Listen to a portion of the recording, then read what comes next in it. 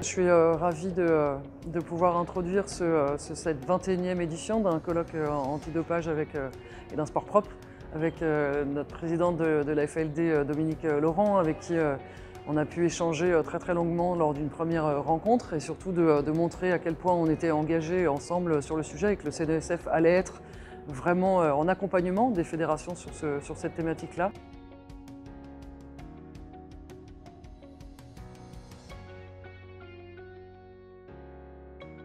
L'objectif et ce qui est pour moi le mot essentiel, c'est la question de la prévention. La prévention que nous allons faire auprès des acteurs de la lutte antidopage, mais également une prévention à faire auprès de l'entourage euh, des sportifs, euh, qu'ils soient de haut niveau ou tout simplement de pratique loisirs, pour faire en sorte que l'intégrité l'intégrité du sportif, mais aussi l'intégrité des valeurs du sport propre, soit préservée dans le mouvement paralympique. C'est un lieu d'échange et d'explication sur toutes les évolutions récentes euh, de la lutte contre le dopage, qu'il s'agisse euh, des contrôles, euh, de la recherche euh, ou bien des thèmes de prévention.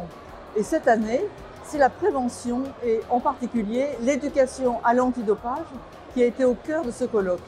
Dans la perspective des Jeux olympiques et paralympiques de Paris 2024, nous tenons à diffuser auprès des sportifs et pas seulement les sportifs de haut niveau, mais aussi des jeunes sportifs, une culture de l'antidopage. Ravi d'être présent aujourd'hui à ce colloque euh, antidopage avec euh, quelques mots-clés. Collaboration entre les acteurs, préservation de l'usager, éthique et intégrité à, préserver euh, dans une, période un peu particulière. Donc vraiment, favorisons les échanges, le partage et évidemment, longue vie à ce type de colloque. On en a vraiment besoin dans notre société actuelle.